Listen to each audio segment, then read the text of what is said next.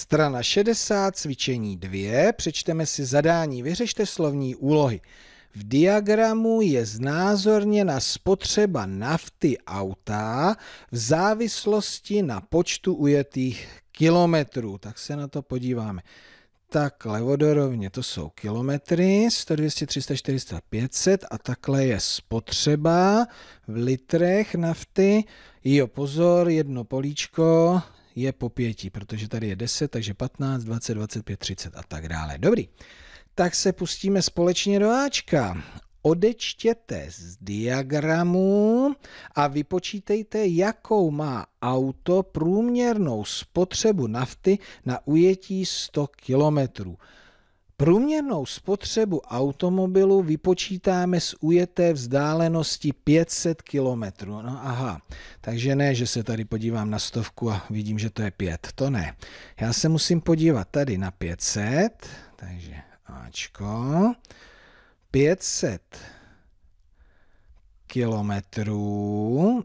A jaká pak, že je tam ta spotřeba? Tady je ten, tak jedeme, jedeme, jedeme 30 litrů. No a v Ačku chtějí, abych zjistil průměrnou, jo, to je důležitý, průměrnou spotřebu na 100 kilometrů. Tak jak pak to udělám? Kolikrát se mě 100 vejde do 500? Jednoduchý. 500 děleno stem rovná se 5. Takže ta spotřeba na 100 kilometrů bude když se to vejde pětkrát ty kilometry, tak se musí vejít i pětkrát ty litry. Pětkrát menší.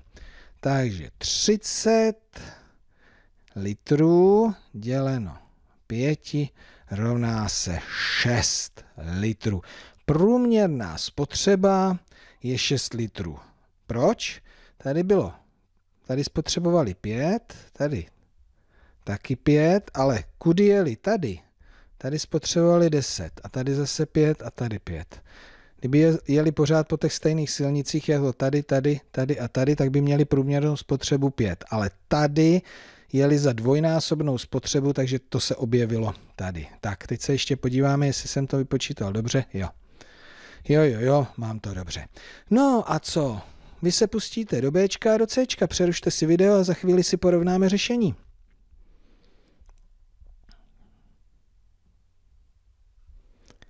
Tak Bčko, kolik pohonných hmot by při stejné průměrné spotřebě potřebovalo auto na ujetí 700 km. Takže my víme 100, no a 700 to je 7 krát víc, tak 7 krát 6 rovná se 42. 42 litrů, jo? No vidíte to, ani nemuseli jsme dělat žádný zápis. Máme to tady.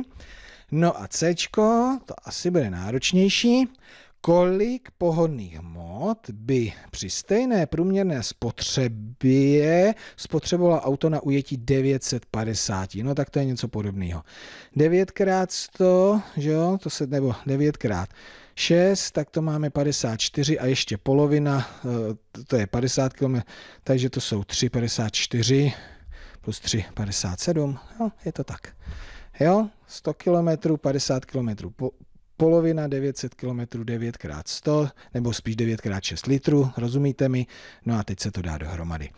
Fajn, takže spotřeba. No, důležitá věc při ježdění autem, No, abychom věděli, za kolik jezdí to naše autíčko. Já si myslím, že by bylo docela zajímavé to zjistit, třeba tu spotřebu a automobilu, který vy v současnosti používáte.